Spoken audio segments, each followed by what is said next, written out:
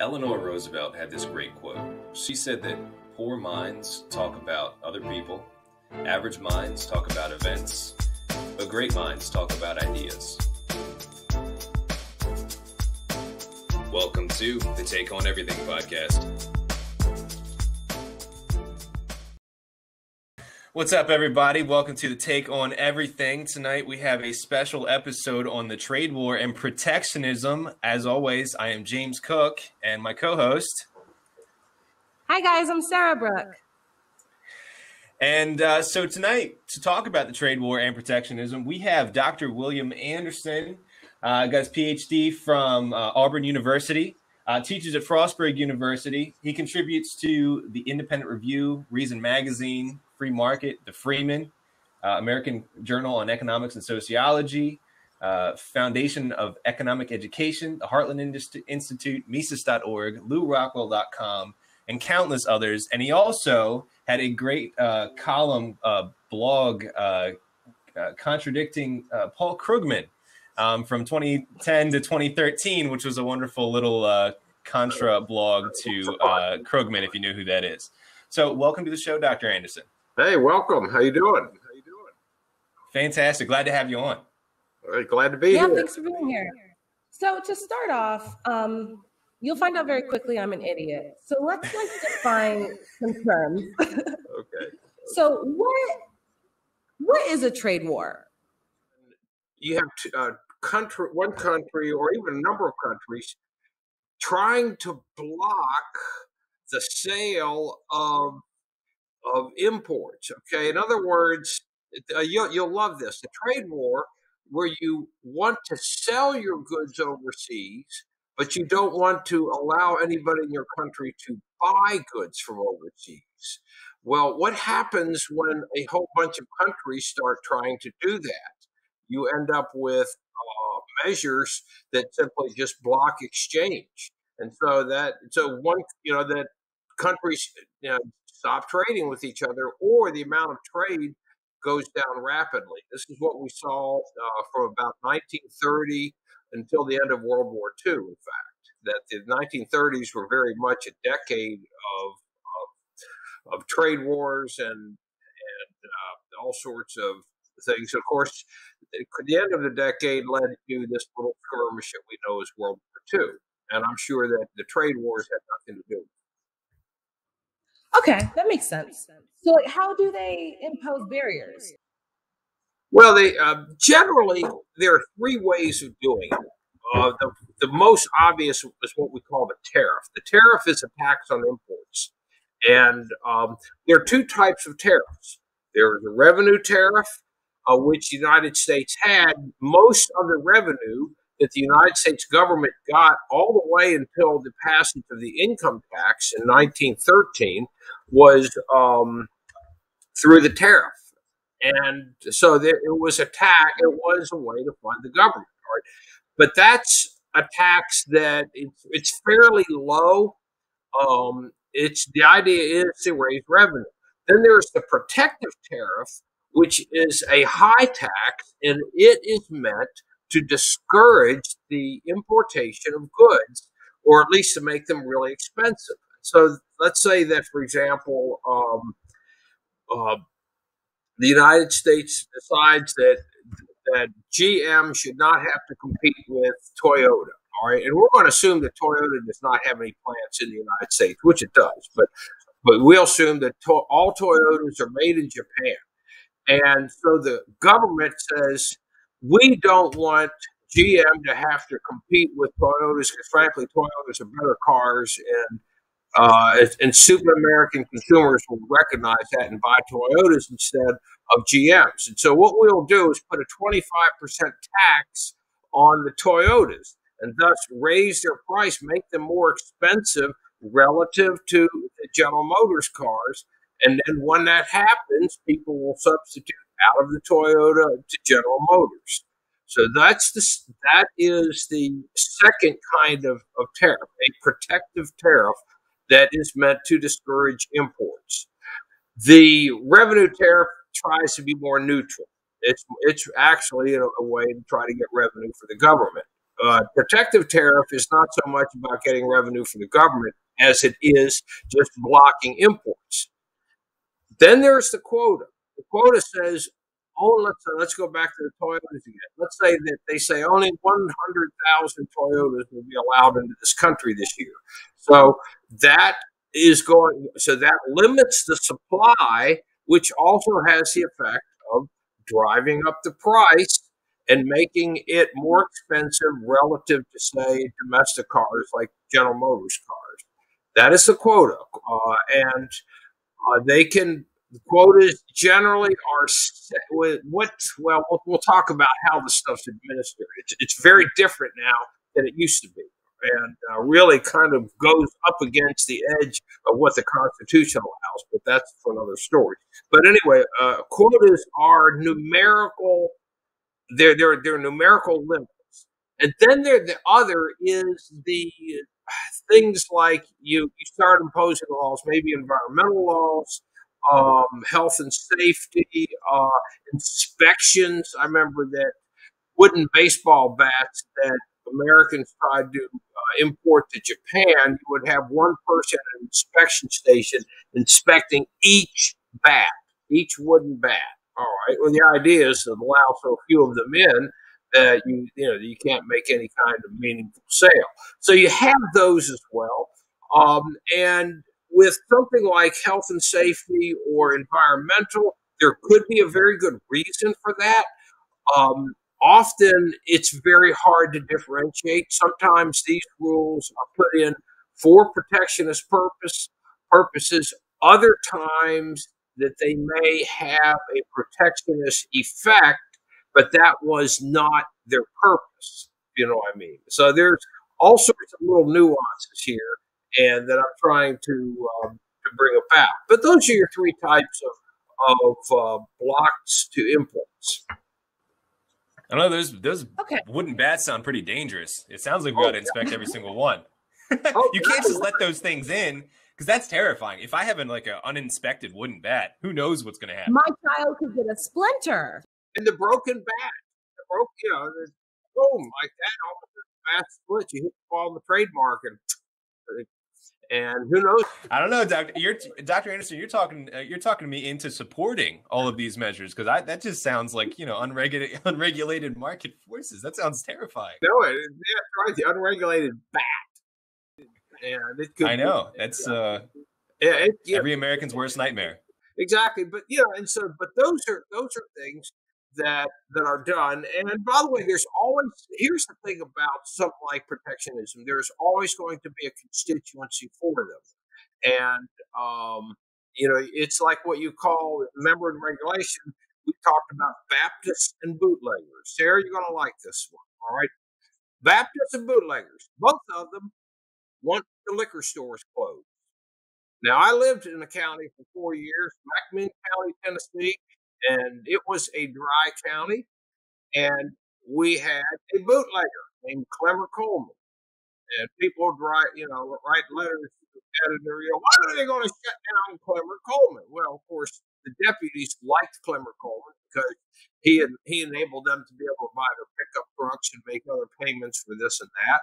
Um, and Clemmer, you know, Clemmer being the upstanding citizen he was, did not like the idea of McMinn County ever being anything but a dry county. And uh, of course, the Baptists also wanted McMinn County, and the Methodists, especially the Shouting Methodists, they wanted McMinn County to be a, uh, a dry county too. And so, how do you get okay? So you have one group that has sort of an economic interest, and another group that will have more of an ideological interest, you know, and and uh, you kind of get them together, and you get some really really interesting coalitions. Trust me, we talked about that during class. I talked about some of the interesting coalitions that we had. And I think that pertains to the drug war too. You have the drug cartels, and this is a whole other topic, but you have the drug cartels. They want drugs illegal because they make a ton of money. darn right. And then you also have, yeah, absolutely. And then you have the people here; here is like, oh, drugs are bad for you. So you have this weird coalition Oh yeah. of Oh yeah. unlikely friends. Yeah, I mean that's just it. You know, Chapo and and uh, and you know, of course, Joe Biden was a big drug warrior, you know, so that little, little did he know he was contributing to his, to his wealth. I mean, because the other thing is, my God, you hate to see the whole thing go corporate, right? You know, and it just, I mean, there's some romanticism in as violent as they are in these drug dealers, whereas once they go car- corporate, I mean, where's the romance? And on where, where's the secret hideout up in the mountains someplace? You don't have that anymore. Instead, you just got corporate headquarters somewhere. Yeah, that's no fun. No, you yeah, know, if you're going to be a yeah. cartel, you got to be out in the bush somewhere. Yeah. All right, so let's get let's get off the drug. By the way, that is our next episode. Sarah Brooke and I are working on a drug war episode next, so that's actually a decent segue. We'll, I'll, I'll edit that at the end of the show. Exactly. We'll figure out a way to get Always be plugging. Always be plugging. that. Uh-huh. That always plug it every single. So the reason I think the reason that I I wanted to like start that we wanted to do this episode is because you always get a little concerned once you have certain players that are pushing things like protectionism. So for example, you have Bernie Sanders, Mhm. you've got Donald Trump, you've got Elizabeth Warren, Tucker Carlson, uh, and Pat Buchanan. All these people are, are from the far right and the far left. They all want the same thing, and that makes me nervous. Yeah, it So, does. it should. so that's why I, that's right. That's why we got to talk about it. So some of the, some of the things you said earlier, kind of, it's it sounds like it makes sense. Like you know, there there are certain things that you know could potentially be good. You know, you want to keep some dangerous products off the market, but like you know, so I've heard people say that tariffs are just like the cost of doing business. Like you know, if, if you want to have protectionist tariffs in order to like keep industries like American industries alive, um, if you don't protect American industries, um, aren't American jobs going to go overseas? Well, here's an interesting point. That's yeah, because that is the standard argument. They'll talk about well, so many jobs are shipped overseas. Well, first, I kind of like uh, Walter Williams' uh, example. He says, you know, he says I don't see any shipping containers with jobs in them. Uh, you know that that uh, a job is not a product; it is not a good. Um, the assu- there that is an assumption, all right, but there is something else to be said for that, and that is that we can, you know, we could, true, we could have a larger portion of our workforce that is in, you know, we, we can block imports of, say, textiles. All right. And then, therefore, we could have a larger American workforce doing textiles like it was back when, when I was in high school, college, even by post college days. Uh, we still had a pretty large textile industry. It's much smaller now. A lot of firms, uh, uh, textile firms have gone out, but we could do that theoretically. We could block all, you know, all clothing, cloth imports, and make everything domestically. But that means we're going to have to divert resources elsewhere from the tech. You know, you know, it's not like you would just be adding that with not giving up anything.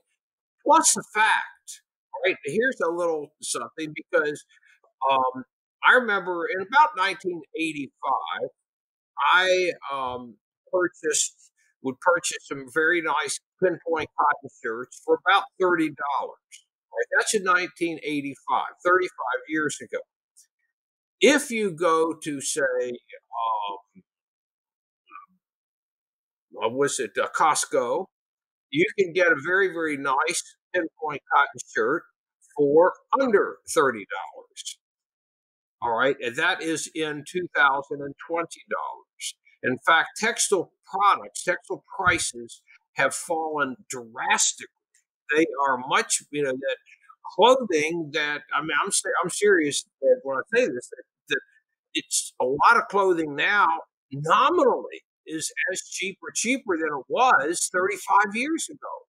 Now, if we had only a domestic textile industry, I can assure you that that pinpoint cotton shirt would be well over a hundred dollars. And um, I'm not paying that. yeah, I am not paying. you are not. No, I'm not. I'm not either. I did not pay. I got this at Costco right here, and I got this sweater cheap from Joe Bank. All right, I say cheap. I can't say I have a Michael Kors shirt on that I paid fifty dollars for, so I can't even. Yeah, yeah, it would have cost you 150 there. I mean that that, and, and, and it, this is this is something a little more difficult to explain. All right, it's something that I tried to do, but that we have a tendency to think that resources swap out one to one. All right. So if we divert resources to say, okay, instead of concentrating more on, on uh, let's say, high tech or some of the other things that, that we do, that we're instead going to um, we're going to con- we're going to go back and try to have the U.S. economy where it was, say, 35, 40, 45 years ago in terms of manufacturing and the like. And if we were to do that, given all of the other structures we have, what you would have would be, you know, automobiles that cost you, you know, talking about a, a typical car that you might pay twenty thousand dollars for, having to pay fifty thousand for or something like that. That the cost that, that, that the cost would be exponentially, or at least let's just say geometrically higher. Right, so it's not simply just that it's not simply just a one to one swap. All right, we have you know that Patrick. That's one of the areas that Patrick Buchanan makes. He makes a lot of them, but uh, one of them that he makes is the idea that if we block there, block imports coming in, then we can make these things here. Americans will have jobs, uh, and nothing else will change. All other prices will remain this what they are now, and uh, that our standard of living will be just as high as it is then. All right. Here's the problem: when you block trade, when you get in the way, you create what we call dead weight losses. You in a deadweight loss, I'm, you know, you I mean, show it graphically when I'm teaching. But dead weight loss simply is a loss of possible exchange and production. It simply does not take place. And it's so it's it's like, for example, uh, a storm comes in and knocks down your house. Okay, that house is no longer there. All right, there is nothing that you get for it. I mean, the storm has not, unless the house needed to be knocked down. I mean, but uh, and you were planning on knocking it down. Let's assume there was a really nice house that you're living in, uh, and it gets taken out by the storm. That it's that there is a loss there. There is a real loss of wealth that now we're going to have to take from future, you know, future direction of resources. We have to redirect them back to that house to build what already was there. Now, the house you build back might be nicer than the previous one, but nonetheless, there are dead weight losses. And this is one of the things that happens when we block trade. We have these dead weight losses. We have opportunity that disappear forever. And what it really means is that the standard of living of people goes down a little bit. All right. Some people now, by the way, it's not this nice little even. Everybody has a little bit of a decline in standard of living. No, it's going to hit some people pretty hard, and other people not as hard. And but uh, yeah, I'm an idiot. But let me make sure this. Um, so yes, yes, it does give jobs to foreign countries, but what it really does for here is it shifts the focus to different industries that are better utilized with our resources. So, no, we're not making t shirts and iPhones, but who the hell wants to? Because we're here designing t shirts and iPhones. Yeah. Yeah, it's yeah, it's a lot, yeah, and which generally is a better job than making them. Uh, it's it really is something else to keep in mind too. All right, and this is very this is fundamental. But one of the things that we really lose out when we we have discussions on economics, and that is that the end of all production is consumption. We do not produce for its own sake. We do not produce for the sake of producing. We produce in order to consume. In other words, it's a purposeful activity. One of the problems that happens when we, um, when we, in all these debates, and especially once you start bringing the Keynesian perspectives in and the like, is that you end up with the economy as a perpetual motion machine that the purpose of it is to keep people employed. Well, okay, why do we keep them employed? Well, they can put goods on the shelves. Okay, why do we buy the goods? Well, we got to get the goods off the shelf so we can make more of them, so we can get keep people employed. And so you end up with this image of a perpetual motion machine, when in fact it's a linear process. And that is that we produce in order to consume. It would be nice if we could consume without having to produce, that everything that we needed was already there and that we didn't have to work for it, we didn't have to pay for it, it was just there. That would be called a cornucopia. That would be very nice. Well, what about like, what about like, because we're in this, because we're in this of, of production. And like as we move towards automation, like we don't need people in those spots anyway. So like what does it matter if they went to China when they're going to be replaced by a robot? Mm-hmm. Well, and also here's the thing, and this this again is something that's difficult. It's easy to talk about. It's difficult for people to swallow. Okay, and that is that we make the assumption first regarding labor. Labor is a scarce good. That there's always another thing for labor to do. There are tasks or things that are left undone. And there are always there's always more to do. And so when we replace a bunch of workers with robots, there are two things that happen. One, that the finished product probably is even better than it would have been had you had the people that are having to do all this work themselves. But now that frees up labor to be applied in places where it could not be applied before. And that's where people, that's where somebody like Tucker Carlson, he wouldn't like my saying that. Oh, he he got really he got really mad when uh, Elon Musk made those um, those self driving trucks he just had he had an entire episode where he was just like losing it. He's like, "This is going to cause so much unemployment. This is going to destroy the economy. What are truckers going to do?" He like lost his mind. I was watching the episode.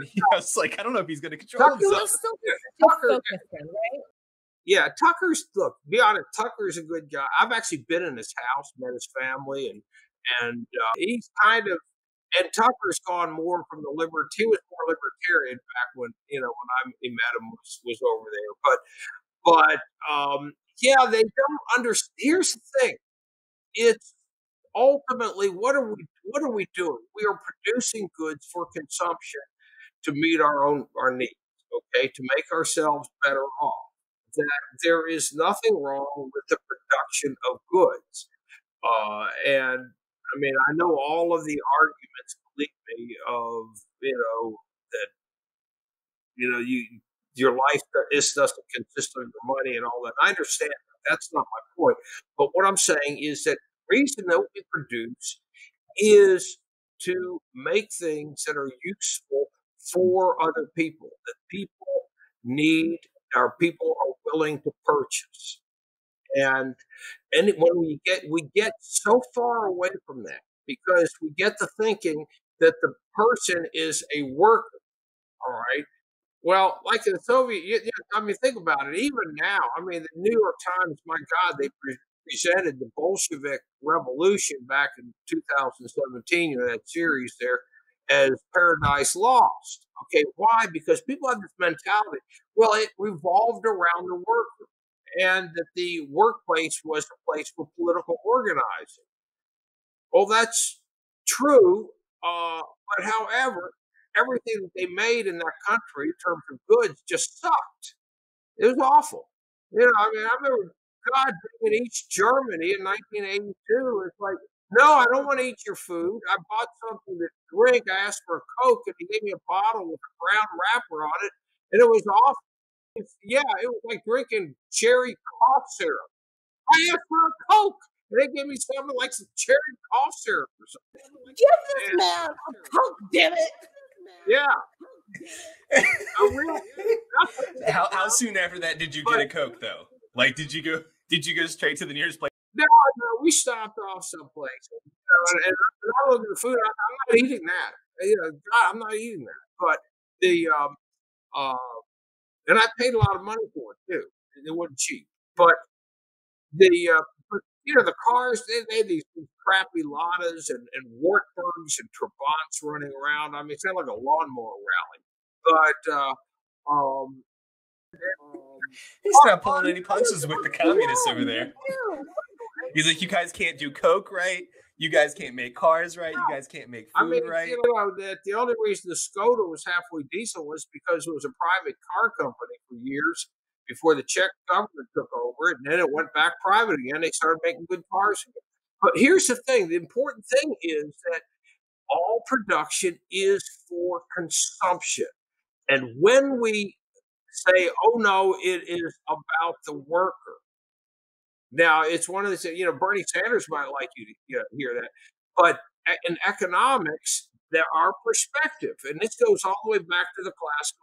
Uh, Adam Smith and uh, for that matter, Jean Baptiste Say and the continent, and all the way up through Mises, Marshall, and all that. It was ultimately the end of production is consumption. And so that's, if you think about it, what are companies doing? They're constantly improving their products. They're constantly um, innovating. Stuff is, you know, I remember growing up, and, and every year, you know, that there was always something new with the automobiles. Every model, every year had a little bit of an improvement over the, the previous, or you hoped anyway.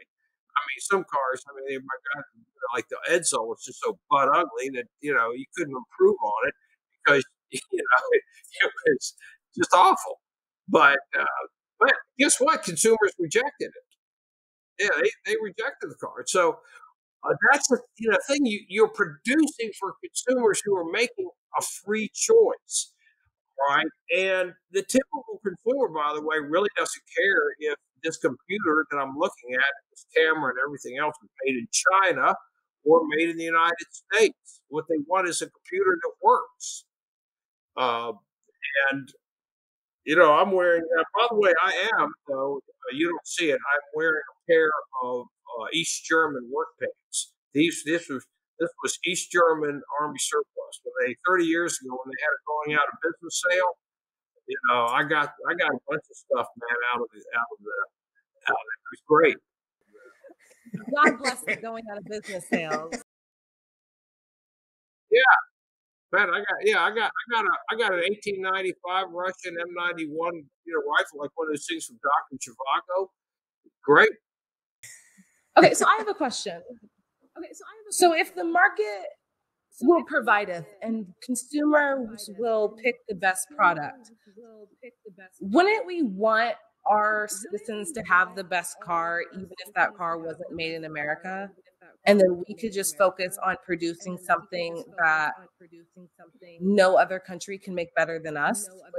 That that's generally what happens. Yeah, and or, or you know, there's yeah, you could do that. Now, here's the thing: often domestic policy gets in the way of that, and that's where we get into problems because that it's like we don't want you to buy from China. That's bad, but we're going to make sure you can't make anything decent either. Uh, it's like know the mentality out here in California with, you know, with the legislature, uh, and um, you know they because they're so ideological in, in their approach that they they forget that you know maybe it would be good to actually have people be able to make something halfway decent. Uh, but I, I, I, know what you're saying, and, and what we call it in trade, we call it comparative advantage. Um, and, and and what happens there? Wait, what do these terms mean? Okay, comparative advantage is nothing more than than what you were talking about. It, it's putting into econ, econ term, what you just described. What do we do?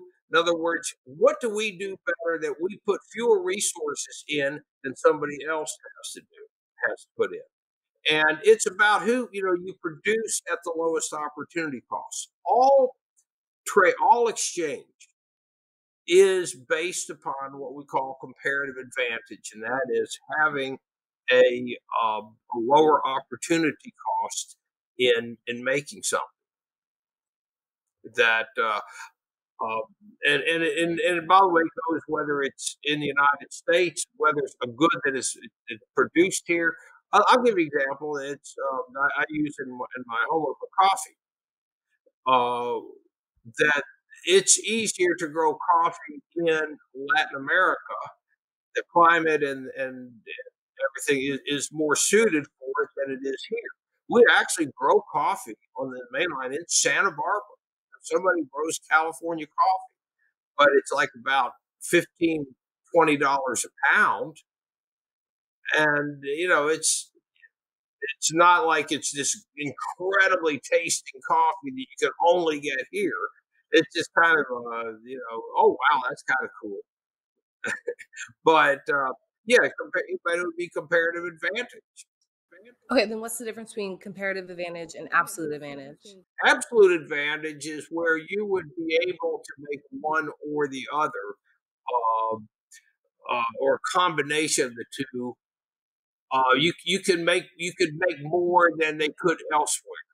We will do this with, with trade between. It would seem the United States has the ability to make one or the other, and we could you know if we take two products and you could our combined resources, we'd be able to make more than they would. But even there, there is always always a lower opportunity cost that in other words that it makes here this goes back to david ricardo in 1815 and ricardo pointed out that there is no reason not to trade because somebody will always have some kind of comparative advantage. They will have a lower opportunity cost for something. It's just a question of finding it and then being willing to purchase that you know, those goods yeah, like one of my favorite examples of comparative versus absolute advantage was um, I forget who said it, but it was like one person is a lawyer and she's really good at both the law and she's really good at typing. She's the best. Her assistant doesn't have a law degree and isn't as good a typer as her, right? But what the opportunity cost of the lawyer is, like say the lawyer types everything, well then she can do less law. What if she does all the law? Well then she's going to do less typing. So in this scenario, it's better for the lawyer to be a lawyer and the assistant to do the typing, even though yeah. the lawyer is better at both. Because the because the value of the law practice is better than yeah. typing. That's and so just apply that to like a country. It's like exactly what the coffee thing is. Like we could make coffee, uh, you know, and we could um, Latin America could make coffee and they make cheaper cars. Like like Mexico makes mm-hmm. cheaper cars than the U.S.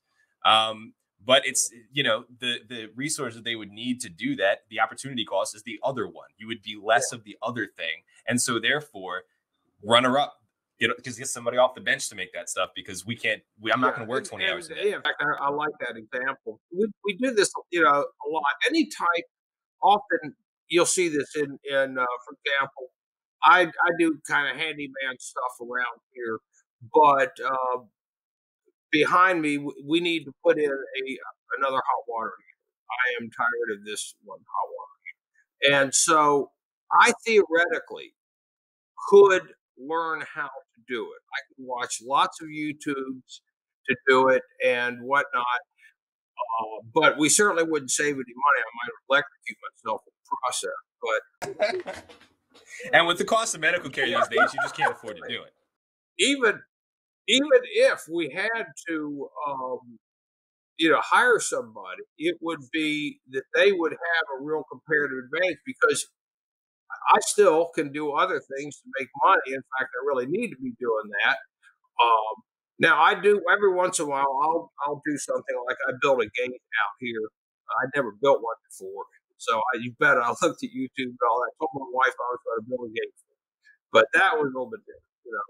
But but the uh, although it's crazy out here. By the way, you know we're we're building a fence, or her, uh, my brother-in-law and I were building, a, or my wife a wooden fence, and people come by. Do you guys got a card? Hey, do you do? You know, we need a fence at our place. You got your card? no, we're just building a fence. But um, I guess you're a contractor now. God help anybody contracts me. But you know, I, I think that that what happens though is indeed that there is everybody has an opportunity cost to do it. It's called specialization. Our economy is very much based upon two things. It's capital accumulation and specialization. that we do, in fact, specialize. And as a result, we have a substantially higher standard of living. Um, you know, we have nice, much nicer houses than we would ever have if we tried to all build them ourselves, and um, and the like. And and so, you know, like you know, the, the show that I like to watch is Maine Cabin Masters. Okay, and I watch those guys, and uh, they they come to uh, they'll come to a, a place and and you've got the cabin owners, and they, and they're like, guys, uh, please help. So they'll come in there, and for a pretty good price, they'll fix that thing up, and they'll do all sorts of work because they know what they're doing. They can look at something and say, whereas the cabin owners would have a really hard time figuring that out. They would have to learn everything from scratch. And then the other thing is that these uh, these carpenters they they've been doing it for a good part of their lives, and so they just know this stuff is second nature. And so that's where you get the specialization that comes in. And uh, the capitals are power tools. Uh, you know, you see them with their DeWalt's, man. You know, and and um, so I, I think that, that that you start doing that. Well, here's the deal: that trade overseas is no different. I mean, what? Why is he? What? One thing about the United States. What is the United States? It's a very large free trade zone. The Constitution does not permit states to erect tariffs against each other. That was one of the things when they uh, they they got away from the, the, Articles of Confederation because states were in, enacting tariffs against each other, and they turned the United States into a very large free trade zone. So that's what the United States is. It's a economically speaking, it's a free trade zone. Are you trying to tell me? Are you trying to tell me that if, if Maryland had had protectionist tariffs against Colorado, that Maryland would not be Maryland, richer? Well, God help Maryland. Uh, no, because like, where would you get your weed from? That's well, true. What, what, that is. if you start, th- you know, thinking that, or, or let's just say, hey, why, why not Cumberland? Hey, we can make Cumberland. Cumberland will not trade it. And everything that's that's consumed in Cumberland has to be made from scratch in Cumberland. What kind of standard of living do you think that would, it would have? It'd be a very low standard of living exactly. like pioneer well, days. Like the countries that make that stuff have a low standard of living. So if we have to move it over here, like we would just follow suit. Yeah, here's here's an interesting point though. Okay, countries that one of the things that happened in the last 40 years was that they dropped tariff barriers around the world. Okay, that they are the tariff barriers there was are much lower than they were at the end of World War II. And one of the one of the results has been a drop in what we call absolute poverty around the world. The world is not as poor as it was when I was in college. You know, when I was 22 years old, there was a heck of a lot of, of absolute down dirt poverty, and the and the these organizations, people putting out the word Paul Ehrlich in uh, The Population Bomb that he published in 1968 declared that we're going to have mass starvation and that there's nothing we could do about it. England might not even be a country by the year 2000 because there'll be such a population die off. Well, it didn't happen. And in fact, none of the stuff they predicted would happen happened. Instead, that countries a place like Vietnam, that of course, you know, thank goodness I didn't have to go there and fight. I had a low draft number. Uh, went in for induction, but they signed the peace accords a month and a half after I would you know, had my physical, so I didn't get, get called up or anything. They ended the draft. It was great. You're like, you didn't have bone spurs. That close. Vietnam was LBJ's war, and then Nixon made it his war. That's another story. But here's the thing Vietnam was the idea of, of getting anything, buying anything from Vietnam would have been unthinkable. China, oh my God. I mean, China back in, you know, when I was in college was a total and absolute backwater. That, you know, it, number one, it was closed off. It was, um, you know, co- communist. Their uh, cultural revolution going on. Uh, they had had mass starvation at Great Leap Forward. This is a place you don't want to buy anything from there unless there's some knickknack or something that say, "Hey, I, you know, I got this little fan that I it was made in China just to prove I've been there." But, like a little shot yeah, glass, like you have at the airport, right? yeah, exactly. that's all they were good for. Exactly, and they didn't export anything. Uh, and what happened? All right, it's definitely not that you know, case anymore. Uh, and uh, you know, and I'll be honest, when I, I taught for six weeks there in 2019, and there were some poor people there, but generally speaking, there was I didn't see what I would call poverty. I mean, they're not as wealthy as we are, clearly, but uh, um, they were. It was not a country with a bunch of you know raggedly dressed, you know, hungry people. They were doing just fine. And uh, the only thing they they're crazy on the motorcycle especially those electric ones. all of a sudden. Yeah, my wife and I, we would look across the street and we're looking both ways. And like one time we, we lived up on a hill. There was this woman coming down on a motor scooter. And she had a kid on her lap and she driving texting while she doing it. And I was like, oh my God, this place is crazy.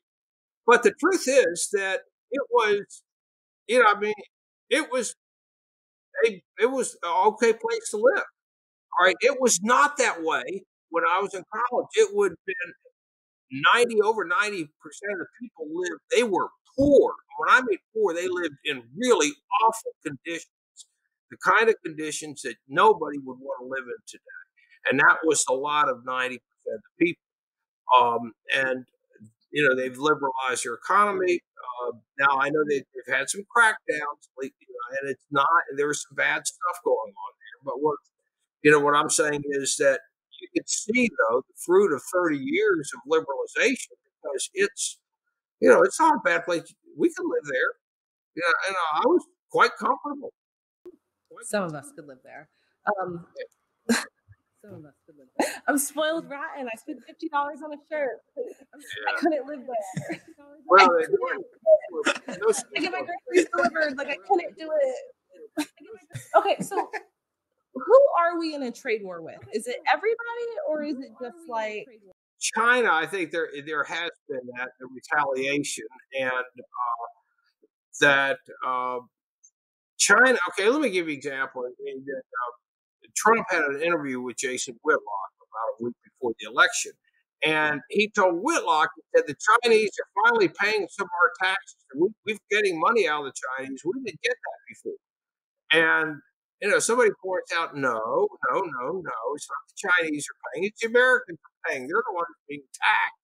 They're paying the taxes for, you know, all the, the tariffs because the tariff is a tax. And so the Chinese don't pay our taxes. We pay our taxes. You trying to tell me uh, Mexico uh, didn't pay for that wall? I remember, I remember that. I, I remember during the campaign, I'd hear that. I think, wow, this are people believe in this, or they just clap it because they, you know, it's, it's hilarious. I mean, I think, I mean, I look, I mean, I, to build, think about. You talk about issue of trade. Think about what that would would do. You would you have to in order to build a true wall, you would have it would be a huge construction project, much of it taking place in really desolate country where there's no roads there. And so it would make a huge diversion of resources to do what? To keep goods from coming across the border. Uh, and so, therefore, it would be something that we could do to lower our standard of living. And um, and here's another point, I think, because here it's one of the arguments that we that we have. Okay, especially um, years ago, uh, there was a, an economist in Mexico, and he made the statement in a speech. He said, Either we import capital or we export people. And Mexico was very much an autarky, that is, you know, self sufficiency. And it was, you know, they had leftist government, and the last thing they wanted to do was import capital. That would be, you know, from the Colossus of the North, better known as the United States.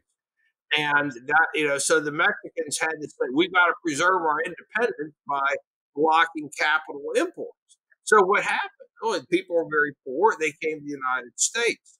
Now, here is something I think is important to keep in mind, though. And there is the notion, there, there is some truth to it, but the idea that if, you know, they say, well, they're going to cut our, cut our wages, that makes us poor. That's one of the things that you know we want to have high wages, and, and that's why we have protectionism because we want to keep our wage structure up. But remember this: the end of production is consumption. We consume, we produce in order to consume. When we block this kind of production, when we block the importation of things, we're ultimately blocking consumption. We're making it more difficult, more expensive to consume. And that's why uh, I think that there is an effect that, that people don't understand. Uh, a lot of times, you know, be honest, immigrant labor is not replacing Americans.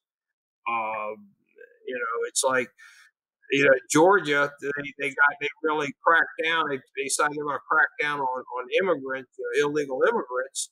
And then he started noticing their tomato crops not getting picked like he used to. You know, you got crops rotting in the field. And they figure, oh, yeah, you know, you know, Americans, will, you know, good old boys, they'll go out there and pick tomatoes. Well, good old boys weren't picking tomatoes. And uh, good old boys weren't picking tomatoes. they weren't picking tomatoes. And, uh, uh, you know, farmers, farmers out here in California, they had that problem.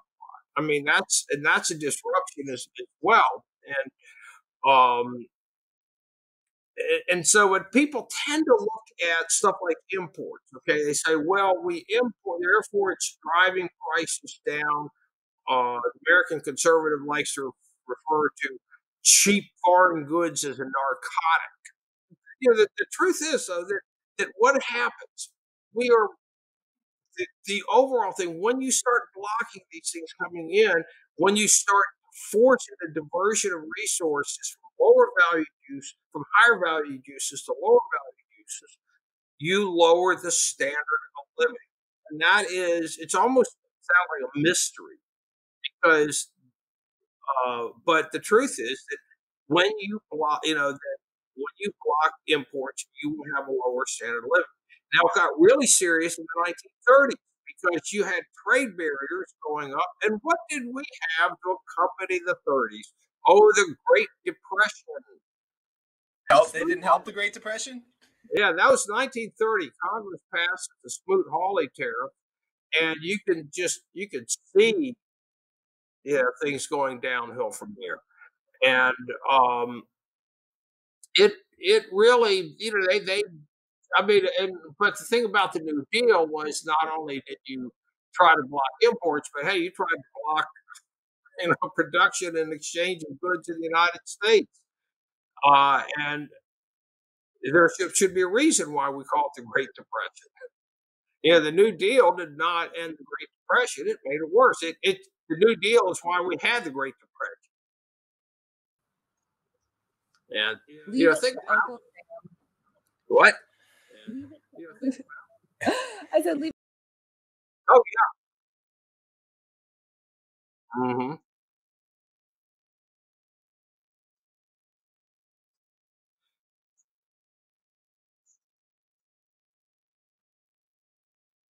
Well, that's already what we do in the United States, and uh, we pretty much have those open markets there, um, and we've done pretty well with it. you know, it's there's no such thing as a trade utopia simply because things are always messy, and that uh, you know that, you might you might have some kind of dispute with another country. You know, just but I'll be honest with you. You know, I lived through the Vietnam War. Um, my brother-in-law was embedded in there. He wanted to talk about it so often I mean, he was, you know, he said he lived, had to live like an animal for a year. And I'd much rather be buying goods from Vietnam and trading with them than than dropping napalm on them and, and killing them. I, yeah, I like that like, option, by the way. Could, that option sounds pretty good. It's I like mean, when you, put it that way. yeah, I got. I mean, several years ago, I, had, I got interviewed by the largest paper in, in, in Vietnam, and I was telling them, you know, guys, this, I, I really prefer this because, uh, you know, back in my college days, they wanted to grab me, and so I go shoot some of you. And I didn't really want to do that. I'm, I'm, I'm much rather buy something from Vietnam than valid valid. You know, yeah. I fully support the decisions. This I, yeah. you should take it. Obama's Nobel Prize and just give it to you because you get it. And he didn't drone strike kids in the Middle East too. So like, I mean, that alone. Goods and that is peace. You know. But if you could kind of narrow some some ideas down, that is that production is consumption. I know that's a bad word often because you know the conservatives want to see it with you know character and family life, cheap you know, cheap goods a narcotic, etc. And on the left, they want the worker, and you know they want they want to, they see the workplace as a place for political organizing, and um, but if in fact production, the purpose of production is to make goods for consumption, the the point is that when you block these things, you make people poor. Somebody is going to have a lower standard of living. Now, the high you know, that, and I'll, I'll be honest with you, I would really prefer a higher standard of living to a lower standard of living. I've done both. Understandable. that makes no sense to me. That's just. you know, I mean, when I was born, here's the thing when I was born in 1953, roughly a third of Americans lived in poverty.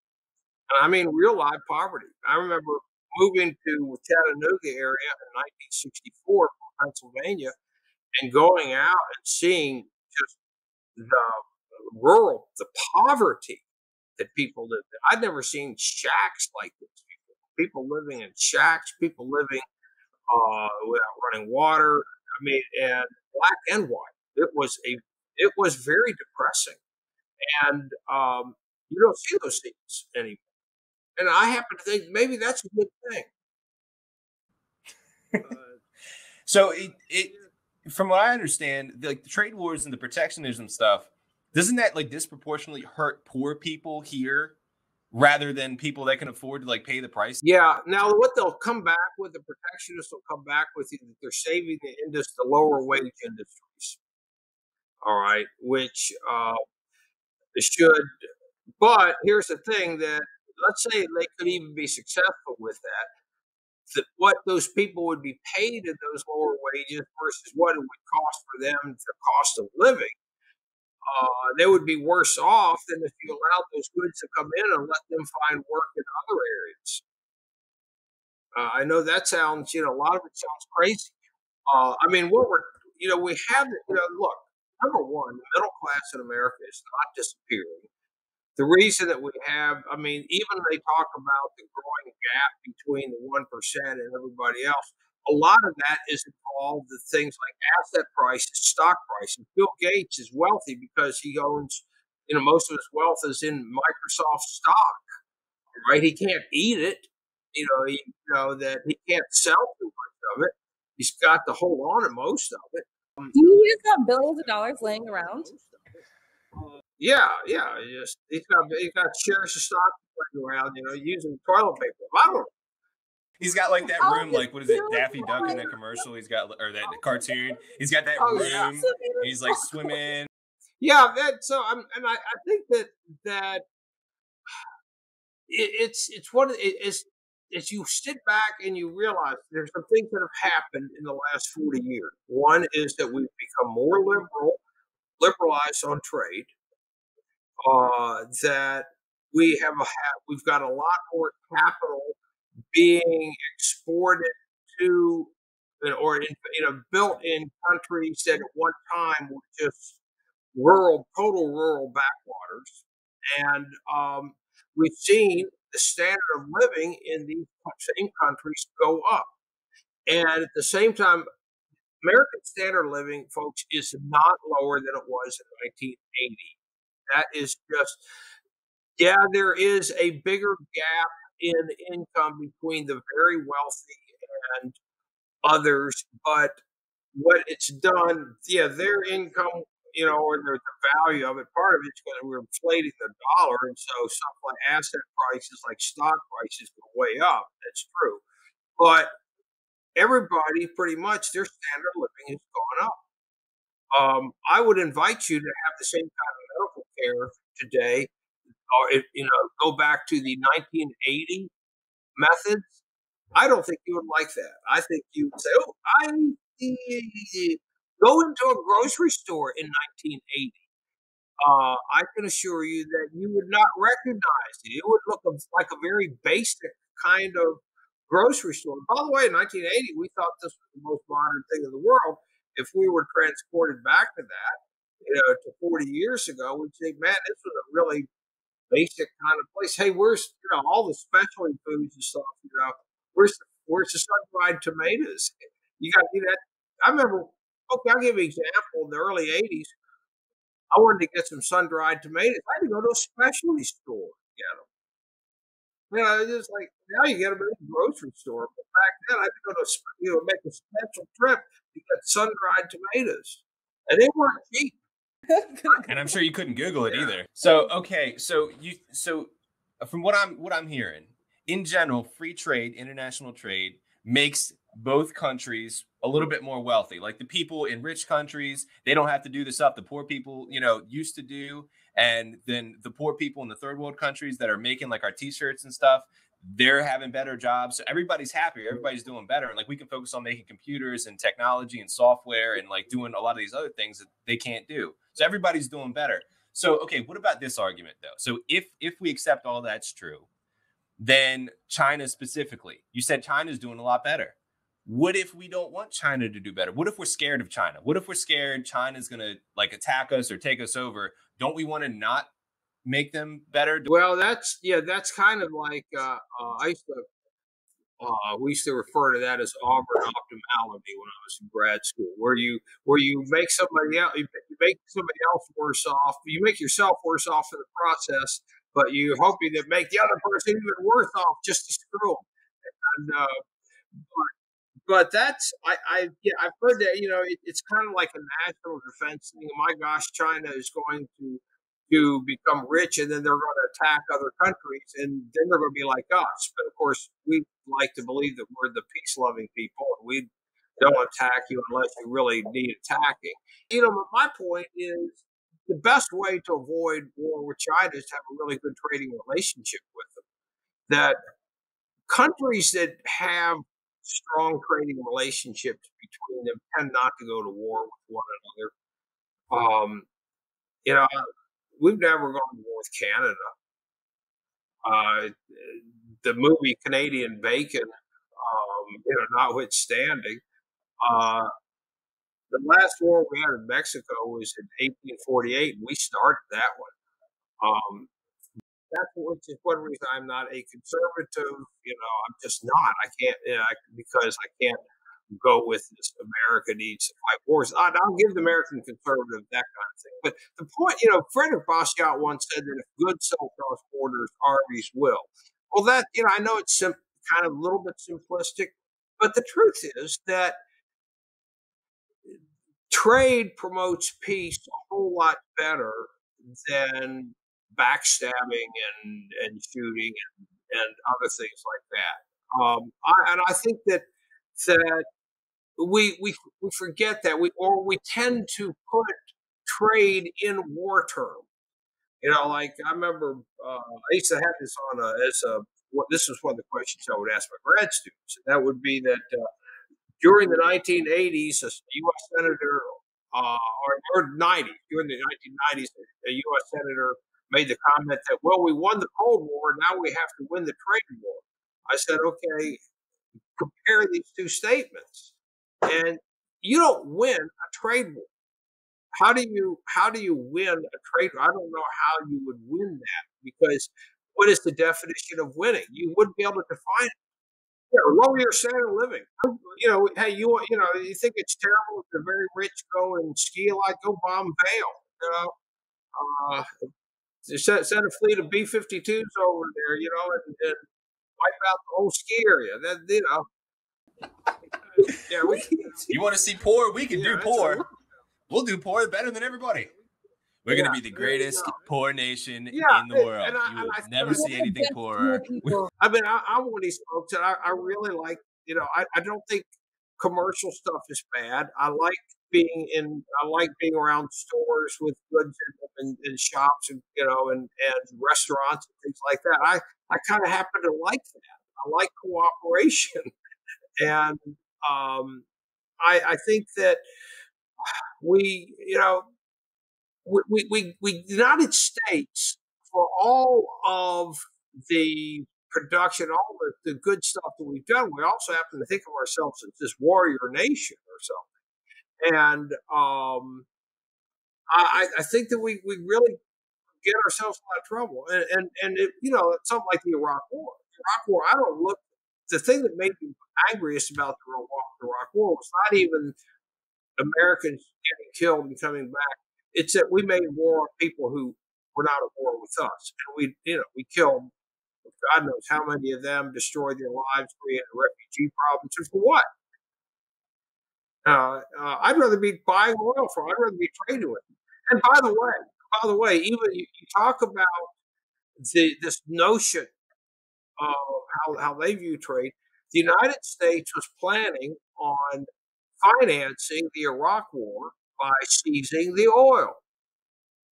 The, uh, the Iraqis would the idea, I'm serious, the idea was that they would pay for the invasion with their oil. That sounds familiar. Is that where Trump got the idea? Like, We're going to pay for the wall. Can I do this again? I remember hearing that, and it's like, wait a second, that's what the Soviets did in Afghanistan. They stole their natural gas and their, and their cement. They had high quality cement. One thing they made in Afghanistan, really good cement. And the Soviets stole it. Uh, but uh, it, it, I think that, that that's a larger picture as well. That trade, economic relationships are not bad relationships. Uh, you know, the Pope notwithstanding, I believe me, I prefer them to to alliances, you know, and shooting and and the like. As I said before, it's just I, I am really I was really glad to be able to teach in China and not have to um, worry about like when I was like my high school and college years, we were scared of them.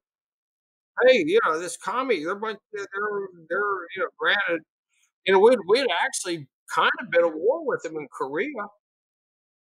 You know, and and uh, MacArthur wanted to go and invade China and drop some nukes or something, and and Harry Truman said, "No, you can't. You're fired." you get really trigger yeah, happy with the nukes. We're just like, yeah, nuke I mean, them. So I, I, don't even care. Just nuke them. I mean, let's take Japan. All right, that with all of the talk about you know complaining about trade from Japan and all that. My God, you know, just a decade before I was born, we were in a fight to the death with them. I mean, it was awful. It was an awful thing, and uh, I would really prefer the relationship we have with Japan here in 2020 to the relationship that we had with them from 1941 to 1945. That you know, there was not a whole lot of trade going on between the United States and Japan during that period. Yeah, we were trading. Yeah, we were trading clothes. That's an understatement. I, I, Let me. But it's you know that, that and here's the thing that you know it all sounds like hyperbole, but it is true. Commercial trading relationships are peaceful relationships. We are not at war with China when we're purchasing computers from them uh, or whatnot. And by the way, that one of the reasons that they can run a trade surplus with us is that they're holding dollars because, after all, dollars internationally uh, are what are used in, in the oil markets that uh, they have. They're able to purchase oil and they use dollars. And trust me, if we ever get to arrangement, the dollar is not the international currency for oil, then we'll start seeing our own prices, you know, going up. But um, but I, I think that uh, uh, that it's you know, for for you know, whatever happens, you know, and and yeah, we, we you know I know that especially this a lot of this the last election, and you know I I live in Appalachia. All right, I live near a place like Johnstown. I've been to Johnstown, and in these these cities, places like that that had a lot of heavy industry, and they are dying, you know, from the inside out. I understand that, and but I do not think that you could you could put a freaking wall around this country, build a real wall, and not let anything in. And I don't think you would be able to save Johnstown uh, or Punxsutawney, except for the fact that they have Punxsutawney Phil the groundhog there every year. That's but uh, Cumberland, you know, or,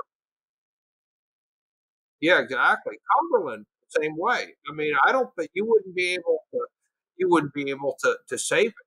Um, that uh, there, but there are you know that, that there are things that people can do. There are jobs, by the way, going begging that um, you know, you you know, and, and so I that it's that it's more than just oh well we don't have factories anymore, so therefore uh, life in in America is you know, for some people is a terrible thing.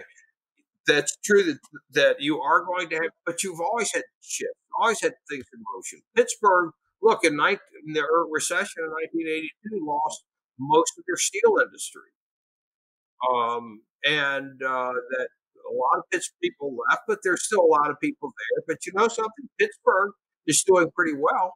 So, Dr. Anderson, what you just said, I thought was really interesting because um, you had actually written an article at the beginning mm-hmm. of this year, I believe in January, before all the COVID thing started. Um, and it's called Conservatives Are Increasingly Wrong About Market Freedom. And I want to read an excerpt in here, which I think is really great.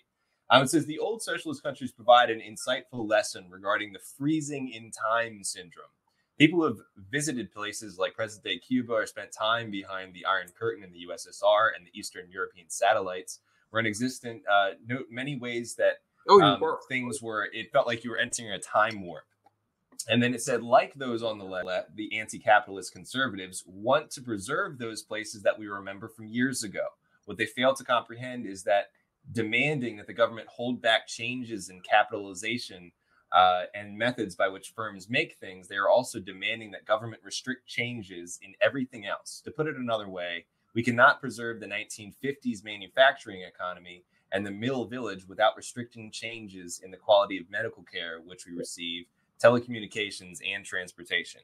I thought that just like the, the failure that we're learn we want this old thing that we remember without realizing that we can't have that. It's we can't just recreate yeah. the past. You know, we're just going to make ourselves poor like we were in the past. Um, like my friends and I, you know, I grew up my first ten years in Boothwyn, Pennsylvania, which is a working class town. Um, and uh, had steel mills, oil refineries. Um, my my best friend's father was a machinist at Baldwin Locomotive, and you know we we remember a very happy child but Gary, my friend, does like to remind me of things like, oh, by the way, we had cesspools back then. You know, you, you know, the, the place smelled like, you know what? And uh, beautiful the, place the, the to gutter, live. You know, there's some interesting stuff ran down the gutters. But um, that overall, I mean, our the cars we drove, well, I didn't drive, you know, I wasn't old enough to drive, but the cars we had, they were junk compared to what we have now. Um, and you know, Gary likes to remind me, you know, his, uh, father's tools. He, Gary said he had his father's miter box. Dad was a contractor as well as a machinist, and he said that he finally donated the box, you know, the saw to the uh, to the museum because these were museum pieces. But that, in fact, that we have seen higher standards of living uh, across the board. The medical care that we have now compared, oh my God, compared to what, say, you know, when I was growing up. Oh, you know, it's uh, it, it's it, it's hard even to you know. And by the way, we say, oh, only the rich get medical care. That's a bunch of crap. You know, you know that you go into into any any doctor's office, any hospital, it's not full of rich people. Um, and um, you know, the vast majority of people are able to get health care. I'd like to be able to for us to find ways to, to make sure that more of them can do it. Uh, but it's not the you know that that you know you, they get the, this creative thing that we, we live in some sort of dystopia. We don't.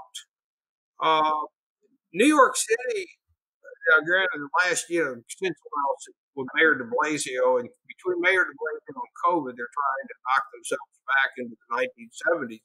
But I remember New York City from the you know from the 70s when um, you know when you had block after block of abandoned buildings. And, you know, they used to make the, the Death Wish movies there because, you know, they had movies like Escape from New York and stuff.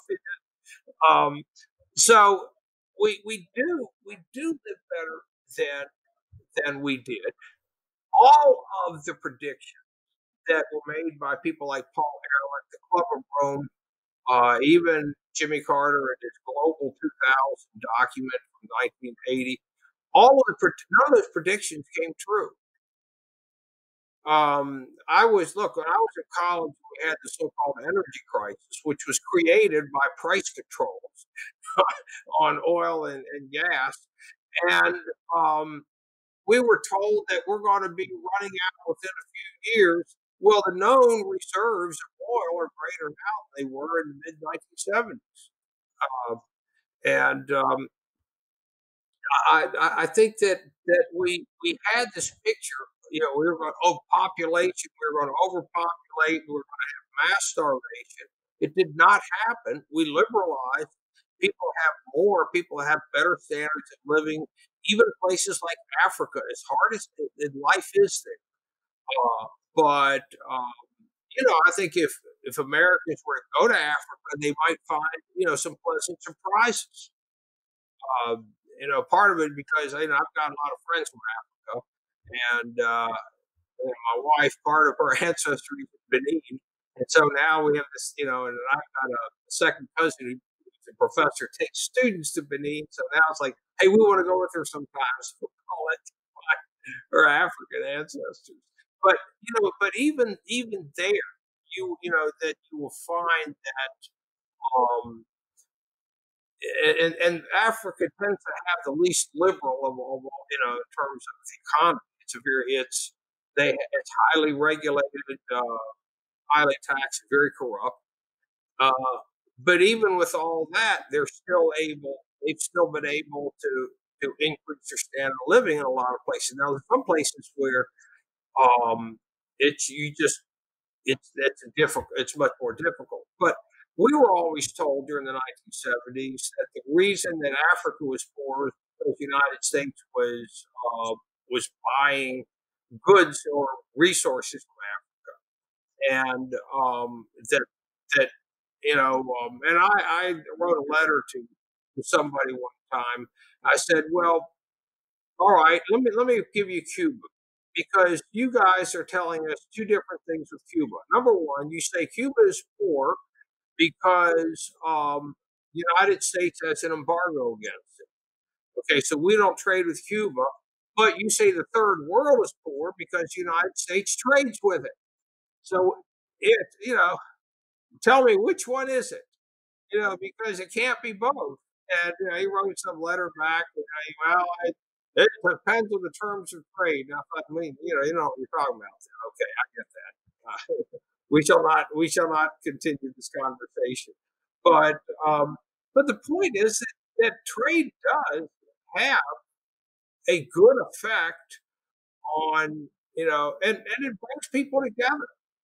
Uh, and you know, one of the one of the best things that, that's been able to happen with preservation and uh, conservation of, of you know African wildlife has been tourism because there's such a you know tourism is is big business, and people say, hey, you know, I'd much rather be a guide and you know with with tourists and you know work in the tourist business than have to go and scratch out a living, you know, and live in a hut.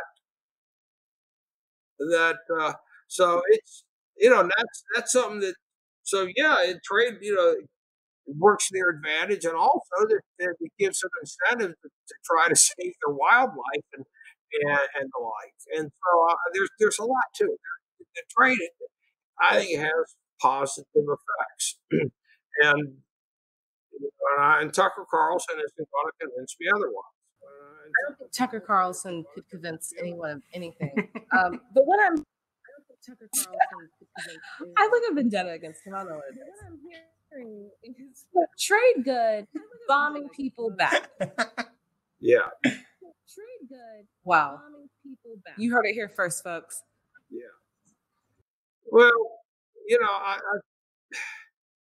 I, I, I would, like I said, I I prefer our present relationship with Vietnam to the Viet, the relationship with Vietnam that existed when or Cambodia. You know that uh, I mean the, the, the stuff that we did there in from about 1969, 1970 on into 1975 that it helped accelerate the, horrible tragedy with the Khmer Rouge they you know, the so-called, you know, the, the regime of the killing field.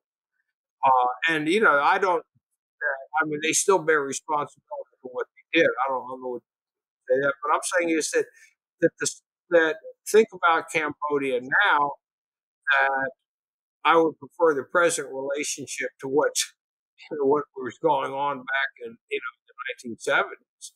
You know, just like I would prefer to have, look, I would prefer for Iraq to be what it was before the Gulf War uh, of 1990, before the United States, you know, bombed the capital, did a tremendous amount of damage. They never recovered from that.